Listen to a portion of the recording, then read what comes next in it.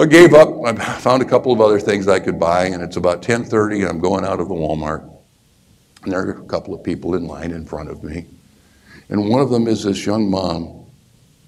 She's young, and she has this little boy. He's about two, two and a half years of age, and he's seated in the cart, and he looks tired, and she looks tired, and they're going through the line.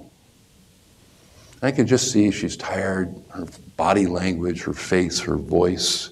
They're going through the line, and have you seen how those checkout lines are carefully designed?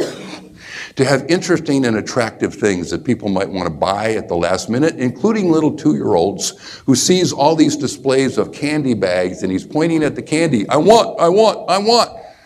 And she says in a kind of an angry, tired voice, No, we can't afford it. We're not buying any candy. Quit asking for things. I can't afford it. We're not buying anything. I got to get home.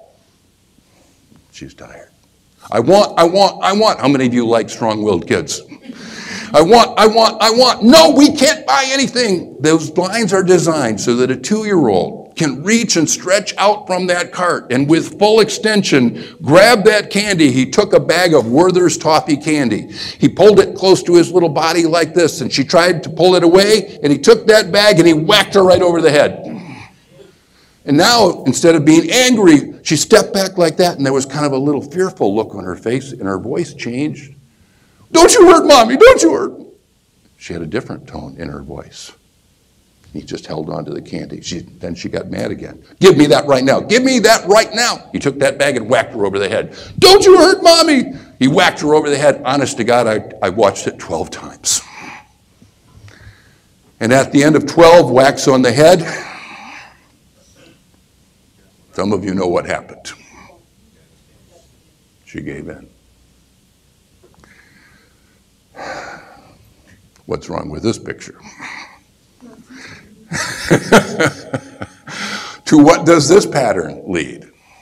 Here's this poor, tired mom who knows what her story is.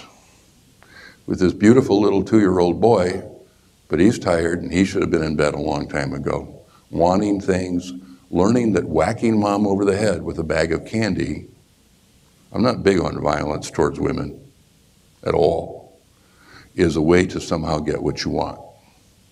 Do I worry about this kid now as well?